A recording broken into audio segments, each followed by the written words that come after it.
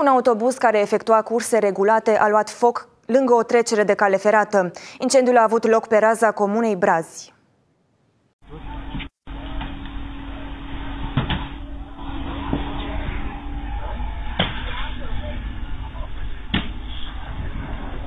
Mă s-a apropie ăla. Dacă explodează, murim cu tot aici.